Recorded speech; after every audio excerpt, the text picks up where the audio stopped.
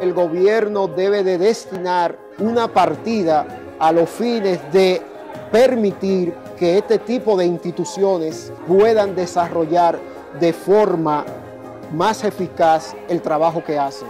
Porque realmente tratamos de hacer el trabajo, porque alguien tiene que hacerlo y nos gusta hacerlo.